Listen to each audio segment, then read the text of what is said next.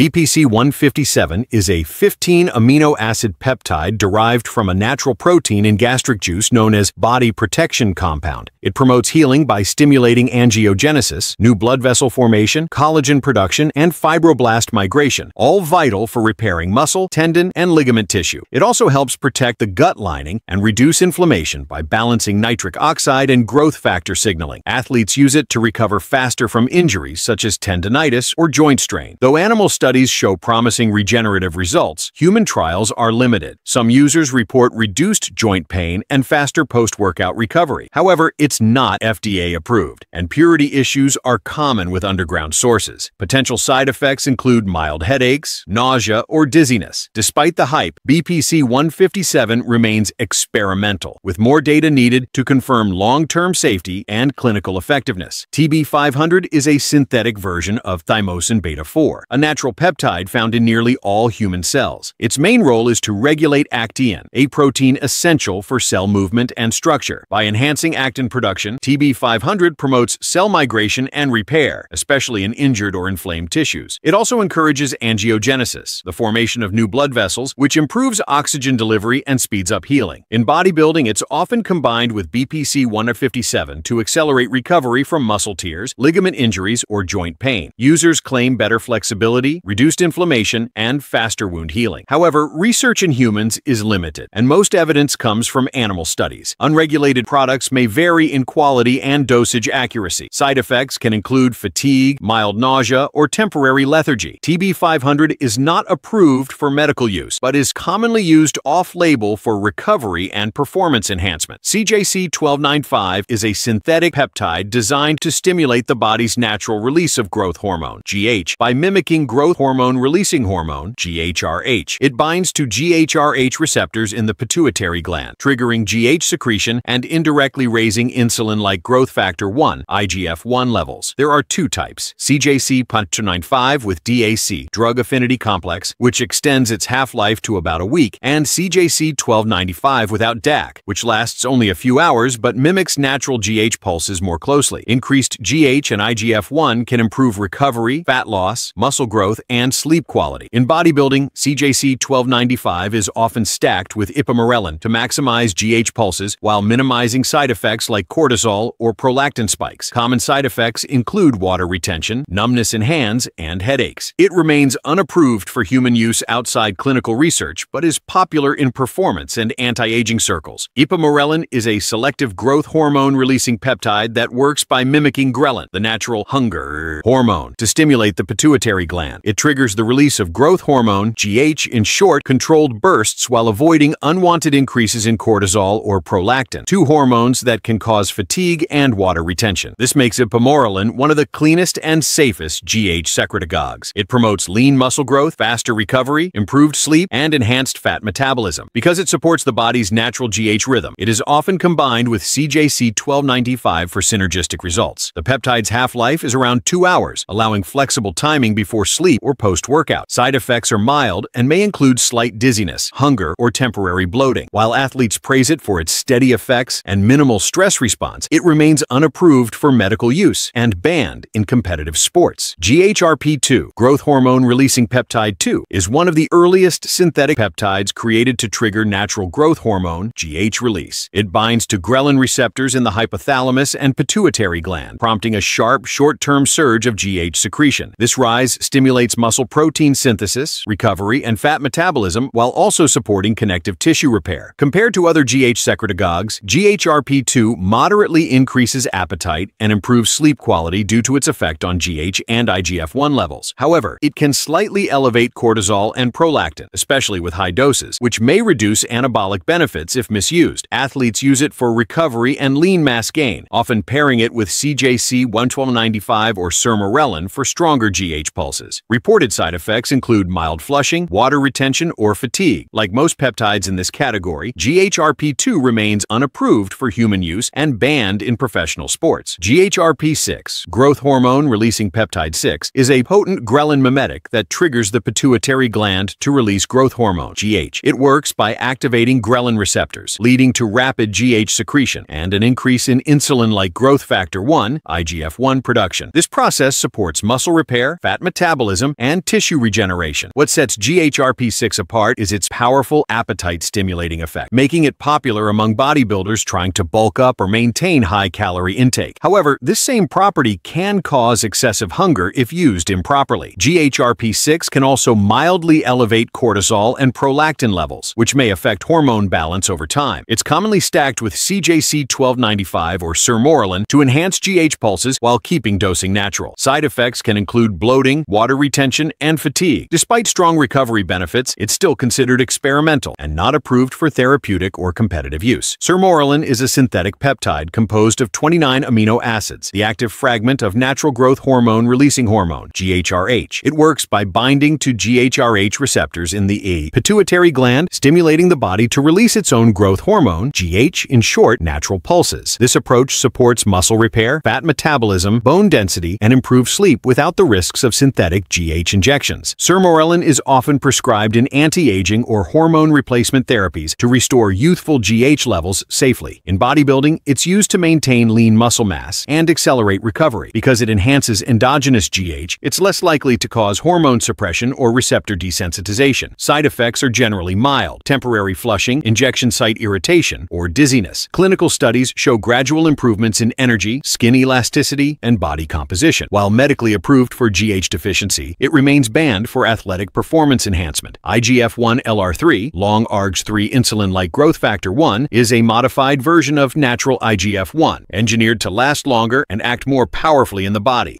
It works by binding to IGF-1 receptors on muscle and bone cells, activating the PI3K-Akt-mTOR pathway, the main driver of muscle protein synthesis and cell growth. Its extended half-life of around 20-30 hours allows for sustained anabolic effects compared to natural IGF-1, which lasts only minutes. In bodybuilding, IGF-1 LR3 is prized for promoting lean muscle gain, improving recovery, and enhancing nutrient delivery to muscle tissue. It also stimulates satellite cell activation, allowing damaged muscle fibers to grow larger and stronger. However, misuse can cause hypoglycemia, organ growth, or receptor desensitization. Because of its potent systemic effects, it's banned in professional sports and not approved for general medical use. Reliable dosing and purity are major safety concerns. PEG-MGF, pegylated mechanogrowth factor, is a synthetic, long-acting version of MGF, a splice variant of the IGF-1 gene that is released by muscle cells after intense exercise or injury. It plays a key role in muscle regeneration by activating satellite cells the stem cells responsible for repairing and growing new muscle fibers. The pegylation process extends its half-life from minutes to several days, allowing for sustained anabolic activity. PEG-MGF stimulates muscle repair, reduces recovery time, and may even protect against muscle wasting from overtraining or injury. In bodybuilding, it's often used post-workout to maximize the recovery window and enhance muscle hypertrophy. However, evidence in humans remains limited, and improper dosing may cause imbalanced muscle growth or tissue swelling. Side effects can include fatigue, injection site irritation, or hypoglycemia-like symptoms. Despite its recovery potential, PEG-MGF is unapproved for medical use and remains on banned substance lists. Follistatin 344 is a naturally occurring protein-based peptide that binds to and inhibits myostatin, a growth-limiting molecule that prevents excessive muscle development. By blocking myostatin's action, follistatin 344 removes the body's natural restriction on muscle growth, allowing satellite cells to proliferate and muscle fibers to enlarge rapidly. It also modulates other members of the TGF-beta family, influencing tissue repair and cell differentiation. In bodybuilding, it's viewed as one of the most powerful experimental peptides for increasing lean mass without significant fat gain. Users claim noticeable strength improvements and visual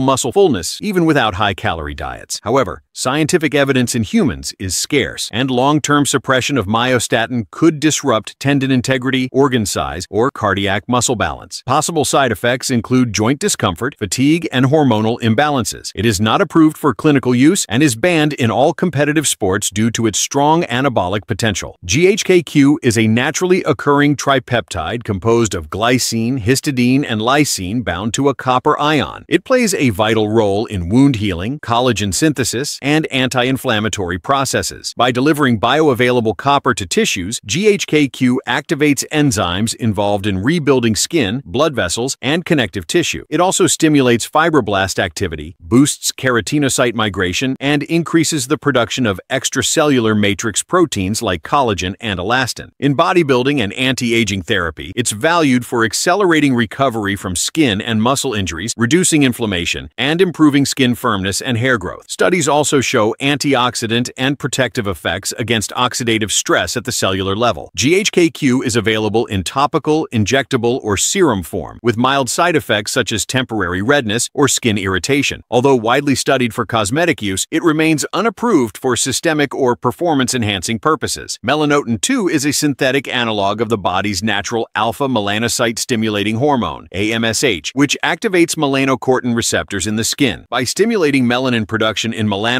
it darkens the skin tone and provides protection against UV damage, functioning like an internal tanning agent. Beyond pigmentation, melanotan 2 also influences other melanocortin receptors linked to sexual function, appetite, and energy balance. As a result, users often experience enhanced libido and erectile response, which has led to its use in treating certain forms of sexual dysfunction. In bodybuilding, it's mainly used for maintaining a year-round tan to enhance muscle definition and appearance. Side effects can include nausea, facial flushing, increased moles or freckles, and, in rare cases, darkening of existing skin spots. While effective at darkening skin quickly, melanotan 2 is not FDA approved and poses risks when sourced from unregulated suppliers. Hexarelin is a potent growth hormone releasing peptide, GHRP, derived from the same family as GHRP2 and GHRP6, but designed for stronger and more consistent GH stimulation. It binds to ghrelin receptors in the pituitary gland and hypothalamus, triggering large pulses of growth hormone while also boosting IGF-1 levels. This results in enhanced muscle recovery, improved collagen synthesis, and potential joint protection through strengthened connective tissue. Many athletes report increased endurance, deeper sleep, and faster injury healing. However, hexarelin's strong GH response can lead to desensitization if used continuously, which is why it's often cycled. It can also mildly elevate prolactin and cortisol, causing fatigue or water retention in sensitive users. Hexarelin has shown